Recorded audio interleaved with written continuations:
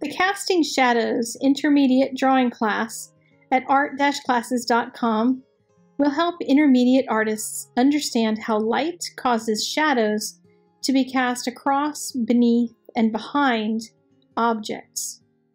Some technical instruction will be covered at the beginning of class, including light sources and shadow vanishing points, but will quickly move into helping the artist create believability without getting lost in crazy measurements all the time. Demonstrations will be done in a variety of media, like pencil, Conte crayon, ink pen, and watercolor. However, for each lesson, students can use whatever medium and paper type that they prefer.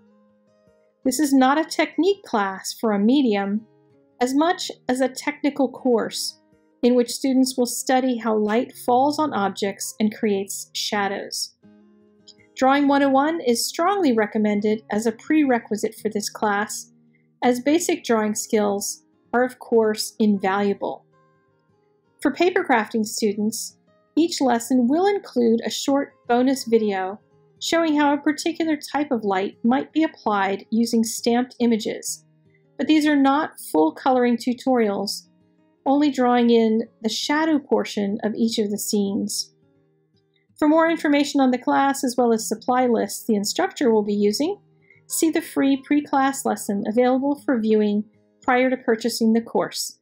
Links are in the YouTube description.